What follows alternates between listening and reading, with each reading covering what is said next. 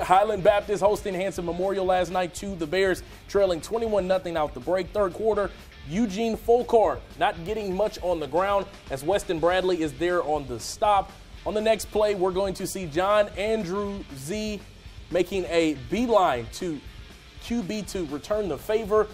Later in the quarter, under 40 seconds left, Folkard getting plenty on the ground for this one, adding a score to go with it. Hanson Memorial extends their lead 28 to nothing, and they add another one for good measure as the final is 35 to nothing.